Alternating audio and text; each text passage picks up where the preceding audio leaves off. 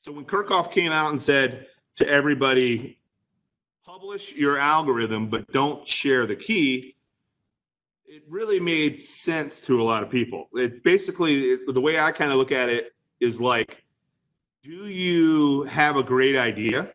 If you have a great idea, then typically you start to tell people about your idea. And it's kind of like the nightly news, or, you know, if you, it doesn't matter which side of the aisle you're on, uh, Republican or Democrat or wherever you are, uh, the other side is going to try to throw darts at your idea as much as you can and it's just that's just the way that we live. So if you have a good idea, then what Kirchhoff says is is publish the idea, have people throw darts at it, and if it holds up, then it's valid. And so the, the really the concept of that, the Kirchhoff principle, came to life, and uh, over time, people started to come up with these different ways to validate things, and one of them, one of them, was the birthday attack. So that is important because another one is this right here. It's called the avalanche effect. And you may have heard of this before. And if not, then uh, hang on tight because uh, you're in for a, a wild ride here. Uh, so this avalanche effect here is kind of neat. If we take something that kind of looks like Mount Fuji, if you will, and uh, we put a a little cog up here, and this cog is going to be for me at least a way that I can um, draw a gear. This is going to be a gear, and if you don't agree with, with my drawing, then uh, definitely shoot me an email and tell me how much my drawings suck. But what I'm going to do is I'm going to explain to you what this avalanche effect does because every algorithm since August Kirchhoff said, "Hey, yo, we need to we need to publish our idea, but don't share the key."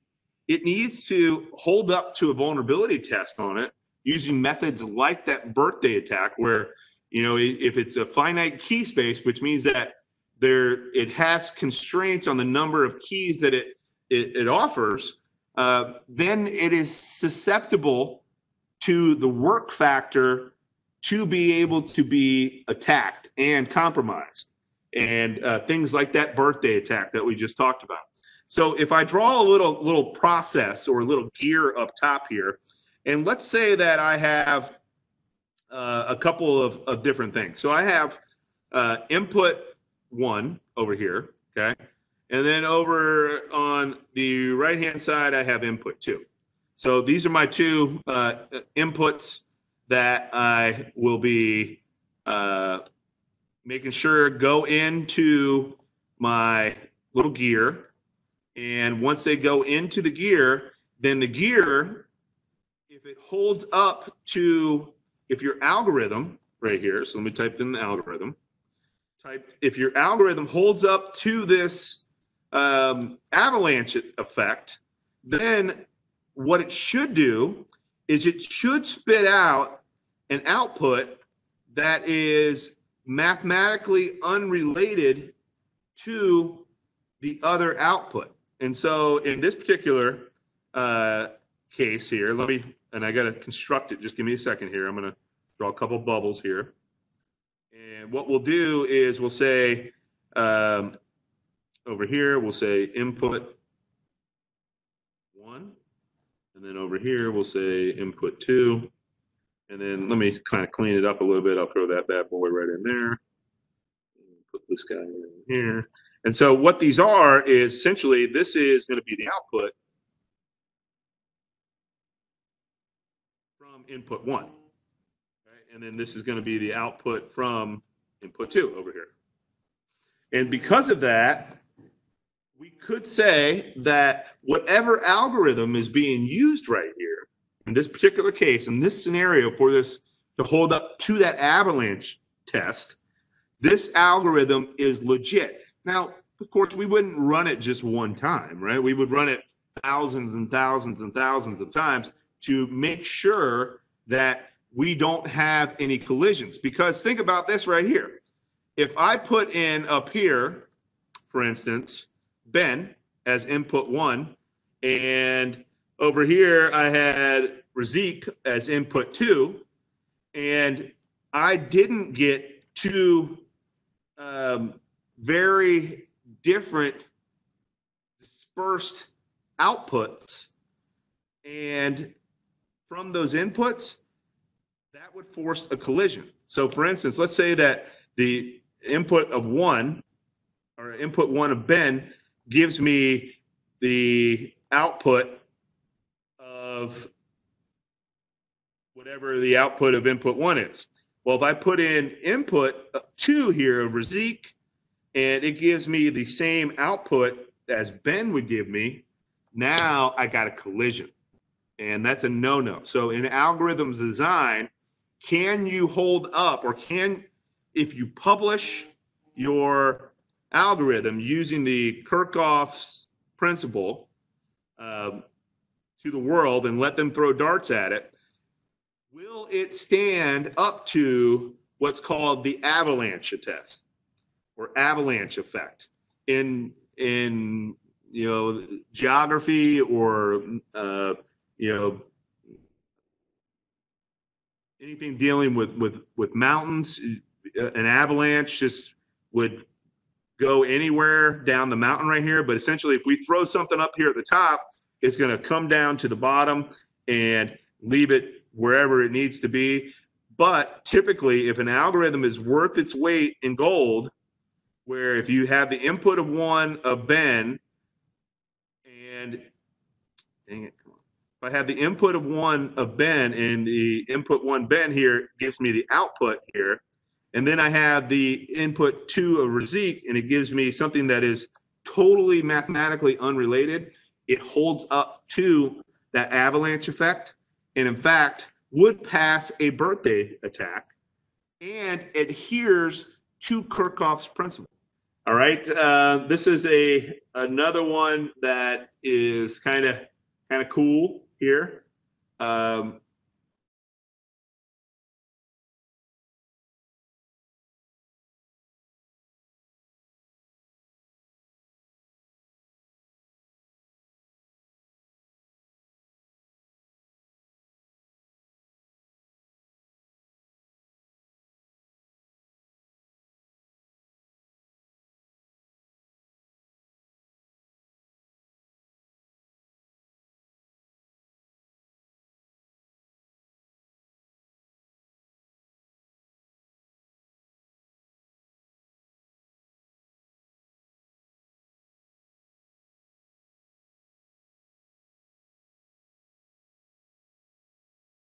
So being able to see some of the context clues come in very handy.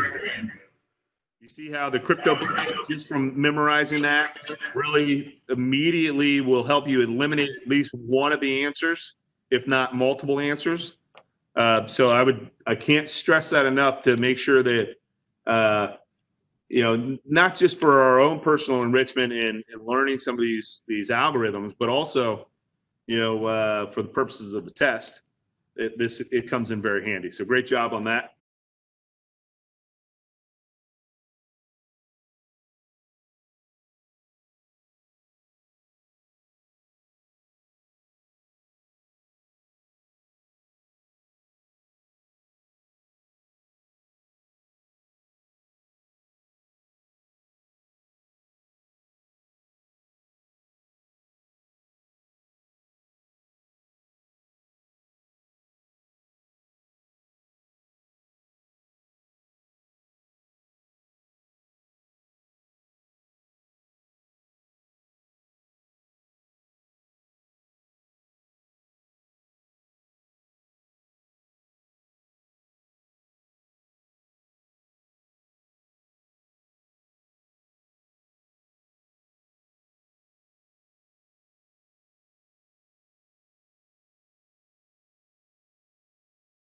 So when I look at the word hashing here, um, I think I can immediately eliminate C because it's not encryption.